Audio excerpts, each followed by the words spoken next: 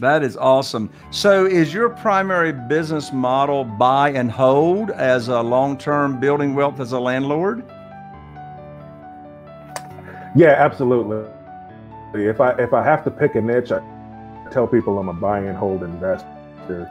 But I learned having to worry about money is to be able to generate your own good deals to purchase.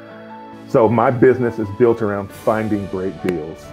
I monetize them after I own them. So whether I sell them as they are, as it sits to another investor, whether I flip it, whether I rent it, I have multiple exit strategies. Because the, the theme I kept hearing, I told you I plugged myself into all these different real estate meetups when I got started.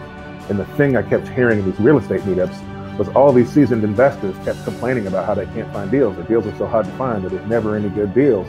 And I just said, okay, well, if I can solve that problem, I'll never have to worry about money again. So my business is built on finding great deals and then I monetize them. I'll buy homes and then I won't even know what I'm going to do with them until after I own them sometimes.